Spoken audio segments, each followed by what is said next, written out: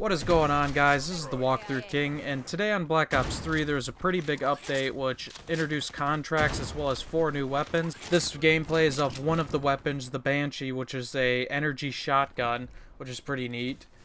And of course, as always, they are in the black market, and so chances are it's going to take you quite a while to get these weapons unless you purchase a ton of COD points, or unless you do what I did and saved up a ton of crypto keys and just use the ball at once when the new updates with weapons come out. Right into the contract system, there's a daily contract and then there's a weekly contract. The daily contract for today is to uh, get 10,000 score, which will give you 10 crypto keys, and the weekly contract is to win 20 games and get 50,000 score, which will net you 30 crypto keys and one mercenary contract. The mercenary contracts are used to redeem Blackjack, which is the new specialist that they introduced, and that will allow you to use him for one hour.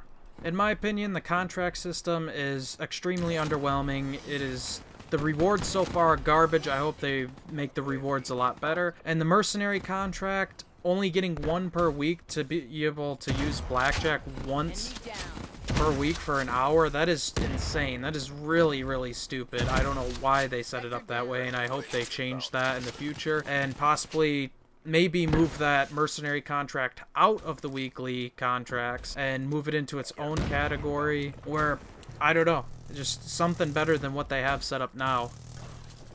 So that's really all there is to the contract systems. I'll go a little bit more in depth on the new weapons now. They introduced the Banshii, which is the one the gameplay is of again. And then they also introduced the Rift E9, which is the energy pistol, which is burst fire, I believe. And I'll have a picture of each weapon up. They, for the two melee weapons, they introduced the Buzz Cut, which is a, it looks like a piece of wood with uh, saw blade on the side of it. And for the final one, they introduced the Nightbreaker, which is a really weird looking weapon. I'm not really sure how to explain it, but you'll see it from the picture. That's pretty much it to describe from this update, though. I'll have the patch notes in the description again, as there's a ton of things, and I don't really want to get into that in this video. I just want to make this a short video with gameplay of the new weapons, one of the new weapons. Anyways, I will also have gameplay up of Blackjack as well as the other DLC weapons later today. For the rest of this video, I will just have the raw gameplay of the weapon being used. Thanks for watching, and I hope to see you in the next video. One more thing before I go, I will be uploading a new series of my progress to getting Dark Matter, as well as have a bunch of new zombie content posted, some of which is probably all over the place already, but I'd like to upload it just to have it uploaded onto my channel, and I'll have a bunch of content uploaded in the coming weeks.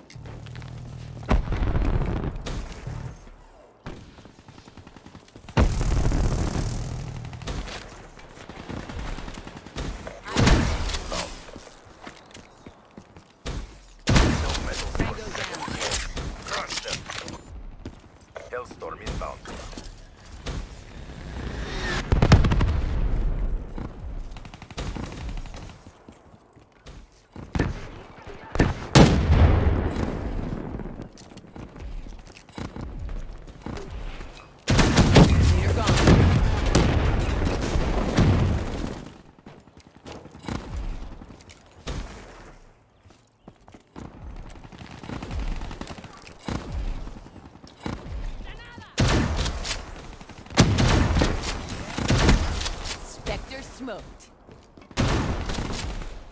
The CDP stands strong.